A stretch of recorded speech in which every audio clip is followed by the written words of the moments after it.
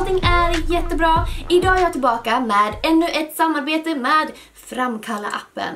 För nästan, ja, precis exakt ett år sedan så la jag upp en video i samarbete med dem. Och jag älskade den här videon, jag älskade resultatet som jag fick ut av den här videon och jag älskar den här appen. Så att nu känner jag att nu är det dags igen för ett samarbete med dem. Och det här samarbetet har ett litet tema som är minnen. Så alla de här bilderna som jag har skrivit ut och kommer visa er idag har ett speciellt minne. En känsla för mig som kan vara glatt, ledsamt, roligt, alltså alla olika typer av minnen. Och alla de här bilderna är tagna från min privata Facebook. Men man kan också ta bilder från sin Instagram eller från sitt album på telefonen och så vidare. Vi kör igång på en gång. Jag vill börja med att visa vad jag gjorde förra året och det var den här tavlan som jag tycker jättemycket om. I vanliga fall så sitter den här uppe i vårt sovrum men vi håller på att renovera nu så att just nu så står den på golvet här. Men det här är i alla fall en tavla med såna här eh, små bilder som har så här Instagram-format nästan. Så att de kommer så här fyrkantiga och så har jag klistrat upp dem på en vit bakgrund i den här ramen.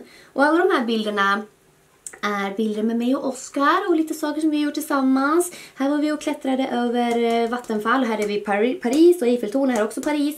Ja, lite sådär, jag ville bara visa er vad man kan göra. Lite inspiration helt enkelt. Något annat man kan göra är att man kan skriva ut såna här eh, posters. Jag har satt in min i en ram så här. Och det här är ju en superbra presentidé. Jag gav faktiskt bort en sån här, fast mycket större, eh, till min bästa kompis. Och då var det massa bilder på oss och massa saker vi har gjort tillsammans. Massa bilder helt enkelt. Och hon blev superglad för den. Eh, så det här kan man ge bort till sina föräldrar eller sin mormor. Eller man kan göra bara massa bilder och ge bort till någon i present. Det tycker jag är superkul. Uh, och jag har bara slumpmässigt bara lagt in massa bilder som jag gillar med massa minnen på här. Och man kan faktiskt också bestämma exakt vilken plats man vill ha bilderna på. Så jag tänkte att vi kan börja med lite minnen ifrån den här tavlan. Tänkte jag. Ser ni den här bilden här? Det här är den första bilden som jag någonsin la ut på min Facebook. Ser ni mitt hår? Hårförlängningen här, det är plasthår. Det är inte riktigt hår, det är plast. Den här bilden, det är den första pussbilden på mig och Oskar när vi hade varit tillsammans i bara några månader och vi var i Grekland. Och den här bilden bredvid här är vi också i Grekland och vi har hyrt en superpytteliten bil.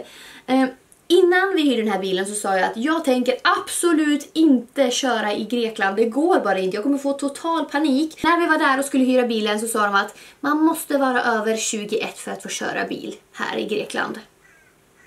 Vilket Oskar inte var. Och jag är ju fyra år äldre än honom så att jag fick ta den biten och köra bil. Inte nog med det så höll vi på att få bensinstopp längst upp i bergen för att jag hade glömt att kolla bensinen. Och precis när bilen börjar hacka så här och hoppa framåt, då ser vi en bensinstation. Saken var ju den att där uppe i bergen i Grekland, de kunde inte engelska.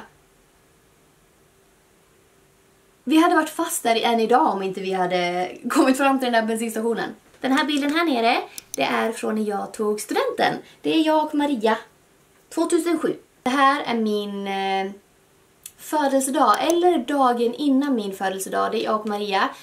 Och det här var också två månader efter att jag och Oskar hade gjort slut, för han gjorde ju slut med mig. Och jag hade sån ångest här och vi skulle åka till Norge, vi skulle träffa vänner där och vi skulle ut och parta i Jessheim där vi bodde i, i Norge i flera år. Och jag hade sån ångest, jag mådde så dåligt, jag hade hjärtklappning. Jag kände verkligen inte att jag skulle kunna ha kul. Men alltså, den dagen, jag hade så, ursäkta, jävla roligt. Och det var den första dagen som jag inte tänkte på Oscar på många timmar. Och det är tack vare Maria. Alltså, det var en så himla bra dag. Och när vi ändå pratar om mitt och Oscars uppehåll så vill jag visa er de här bilderna. Den här och den där. För att de här bilderna la jag upp på Facebook för att jag ville att Oscar skulle se mig. För att vi, vi var fortfarande vänner på Facebook men vi pratade inte under några månader, två månader kanske. Så då la jag upp så här fina bilder på mig. på Facebook för att jag ville att han skulle se dem och ångra sig. Men vet, det kanske var det som funkar. Bilden här nere, det är en bild från när jag var med och sminkade till en musikvideo till ett band som heter Mary Faye. Och det jag kommer ihåg från den här dagen är egentligen inte speciellt mycket som har med smink att göra. För att när man är makeupartist och är klar med sminket så får man ofta vara med och liksom assistera och hjälpa till med annat under dagen. För att även fast man är klar med sminket så måste man vara kvar under dagen och kanske typ piffa till, eh, pudra lite grann, fixa om det blir något fel. Man måste vara där och assistera hela dagen. Och det blir ofta så att man får vara med och hjälpa till med en massa annat. Till exempel den här dagen, och det jag minns mest av allt var att de hade ställt ut en kamera och skulle filma en scen. Men då var det en gran som var i vägen. Så jag fick sitta i den här musikgiron, sitta och gömma mig så här äh, bakom granen och hålla ner den lite grann från bild så att den inte skulle synas så mycket i bild.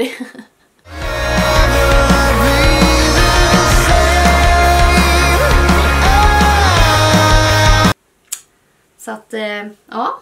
Man är inte bara makeupartist i den här branschen. Kolla! De här har jag skrivit ut också. De här, jag älskar de här. Det här ser ju verkligen ut som såna här som man får i fotoautomater vet ni. Och vet ni vad jag tänkte med de här? Jag tänkte att jag skulle köpa massa såna här guldnypor och sätta på så här och sätta upp på väggen. Antingen man sätter upp dem så här eller på en lina. Superfint! Den här bilden längst upp här är en text som jag la upp på Facebook som lyder så här. Things fall apart so that other things can fall together. Och när jag la upp den så menade jag att även fast saker tar slut, som förhållandet mellan mig och Oskar, så faller andra saker på plats. För att jag och Maria hade glidit isär lite grann. Men vi hittade verkligen tillbaka till varandra och blev så tajta igen på grund av att jag och Oskar faktiskt gjorde slut. Så att även fast det händer tråkiga saker i livet så kommer det, det kommer leda till någonting bra. Mm. Här gjorde jag en liten remsa med smink. Den här bilden la jag upp på min Facebook runt halloween för kanske var det förra året eller för förra året. Eh, när jag gjorde, ja, jag vet inte vad jag gjorde där helt enkelt.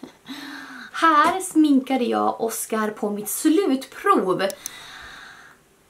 Alltså, under den här makeupartistutbildningen, specialeffekter, så hade vi eh, eh, olika uppdrag. Jag skulle göra Oscar till en Hells Angels medlem med, och så var det massa olika typer av delar som man skulle ta in i den här sminkningen. Så att här är Oscar en Hells Angels medlem med bold cap. Alltså vi har inte rakat av hans hår utan vi har satt på en sån här flint som jag faktiskt har gjort själv. Och, och så har vi gjort eh, fejkskägg och blåtira och tatuering och massa sår helt enkelt. Och den här bilden längst ner här, det är eh, den första, det första numret tror jag det var, som jag var med i Veckorevyn.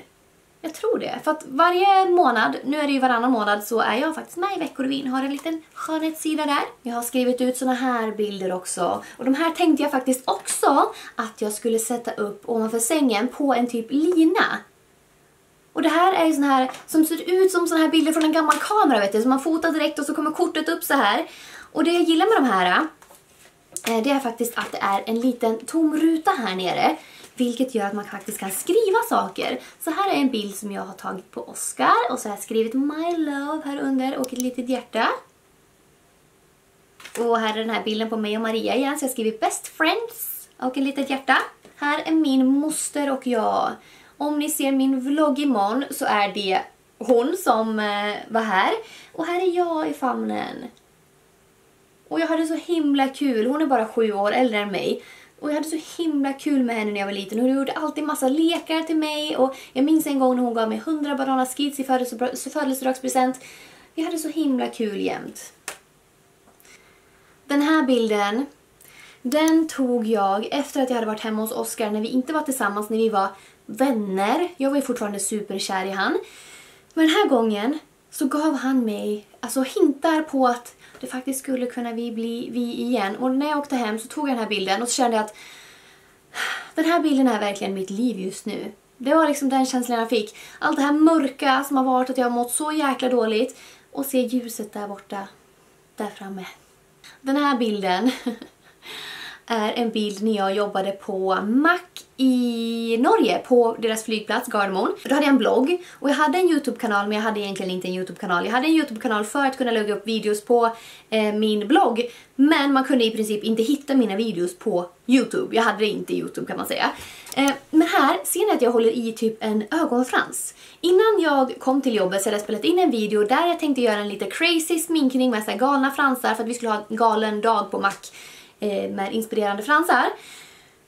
När jag sitter och spelar in den här videon eh, så försvinner en frans helt spårlöst.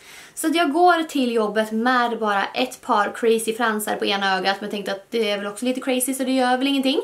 Eh, och så berättade jag för alla på jobbet där att jag spelade in en video en frans försvann helt spårlöst. Jag vet inte vart den tog vägen. Jag letade överallt. Jag vet inte vart den är. Det är därför jag har bara en frans på mig idag. Så går det några timmar och så hör jag att en tjej som heter Kersti, en norsk tjej som jag jobbar med, börjar asgarva. Och jag bara tänkte, vad är det? Vad är det hon skrattar åt? Och så vänder jag mig om och hon bara, jag har svaret. Jag vet vart dina fransar är någonstans. Och så börjar hon pilla mig i håret. Då satt det här paret med fransar i min frisyr som jag hade satt upp i en stor rufse bak. Då satt fransen här bak i bakhuvudet. Och när jag kommer hem och tittar på den här videon som jag hade spelat in, för jag hade inte redigerat den innan jobbet, så ser ju jag under videon, jag bara, men vart är fransen någonstans? Den försvann. Då hänger den i mitt hår och sen sätter jag upp mitt hår så här och då har jag ju bakat in fransen i mitt huvud helt enkelt. Här är en, också en liten text som jag la upp på min Facebook när jag var så jävla arg på Oskar att han hade gjort slut med mig. Once upon a time, fuck you, the end. Den här bilden är tagen i England när jag och Oskar var där på semester och så vandrade vi runt här vid Big Ben och så kommer det fram ett TV-team. En reporter från typ så här, typ tänk er TV4 fast i England.